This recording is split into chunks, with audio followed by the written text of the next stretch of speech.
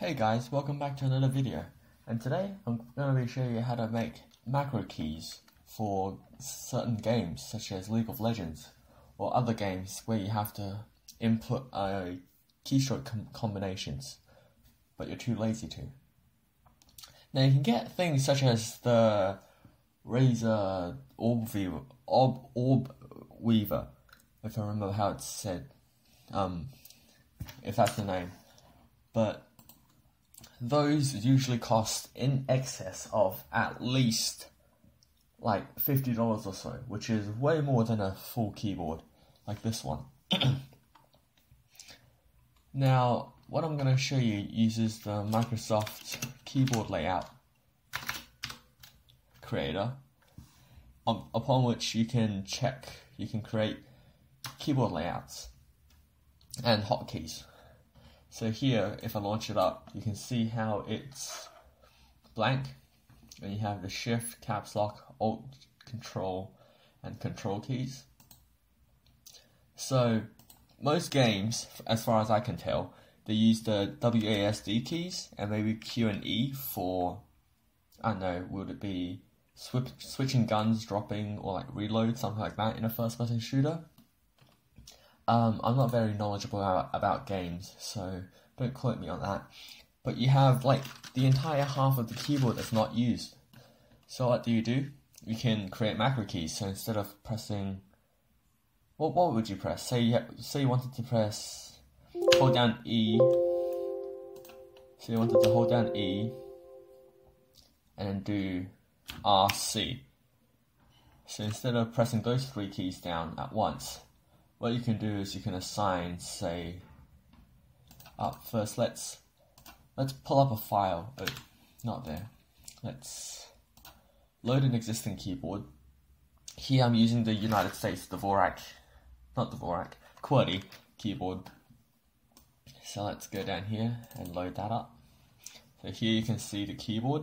So it's if you select the caps lock option, see it goes all caps, shift, and control. Control is blank, but that's normal. You can't exactly assign the copy key using control C under here. So what you want to do, so as I said previously, you just wanted to do E, R, and T, E, R, and C keys together. You could assign like the key T, you could do this, E, R, C, alright? And maybe you needed another action like ZXW, ZX, ZXQ, sorry.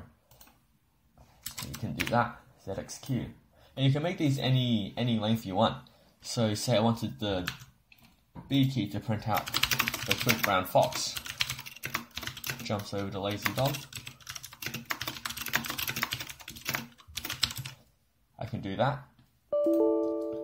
Oh, okay, so there is a limit. You can only do four characters but say what's a four letter character? Um four letter word. I can do disk if I wanted the B key to just say disk. So you can change the keyboards. And if you're worried about having caps lock on accidentally in the middle of a match, you can select the caps lock state and see how it reverts it back. So what you do, you have to copy it over manually, unfortunately. It's ERC, so you want ERC, ZXQ, ZXQ, and then disk would be disk. Inverted is caps lock. However, caps lock does carry over to shift. So you see how I've changed it to caps lock. I press shift it stays the best, it stays the same. Alright, and once that's done, we can select the properties, so you can change the name of the keyboard. I'll just call it hotkey demo. Uh, description, which for me would be just HK DM, and that, that works. It's okay. Now the name, course, there's a limit for the name. I'll just call it hotkey then. And let it do its, its thing. You might notice that over here, the little tools that I have here are disappearing. That's normal, it does that. Uh, this program isn't very well optimized, unfortunately, so it does do that.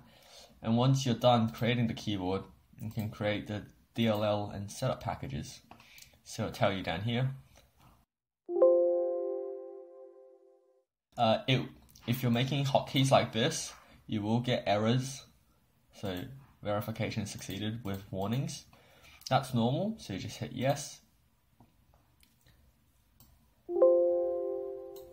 So it just tells you what the warning is. Um, doesn't really matter. So now that that's done, I can open up the directory and it tells you here. Now, now what you need to do is you need to go setup and you do need to run this as administrator. Let's just get rid of this. You do you do need to run this as administrator. So if you're if you're using like a school laptop or something, it won't work. So let's just verify this. And it'll say it's completed. and you can close it. But here, you can see that it's not showing up. So what you need to do is you need to log out and log back in. Now I'll I'll just do that quickly and I'll be back.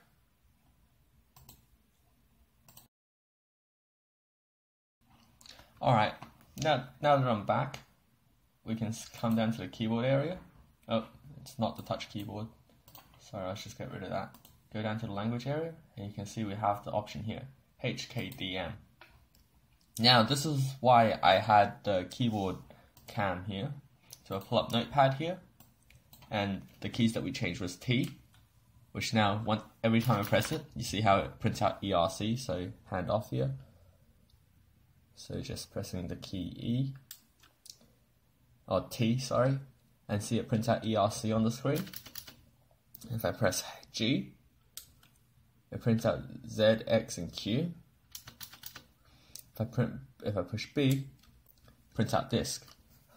So it works as a hotkey, so you can use keyboard combinations for it. And so instead of running programs like auto hotkey, which you can also use by the way, um, you can do this instead. Um, yeah, and if I hold down caps lock, press that once, you can see that it does do the capital letter thing. Now, the only reason why you need to log out and log back in again is because it needs to verify the package, and you you are editing system files, so that does have tends to happen.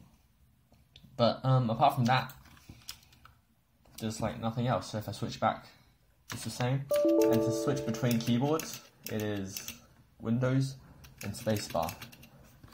So yeah, I hope you found this interesting and I'll see you next time.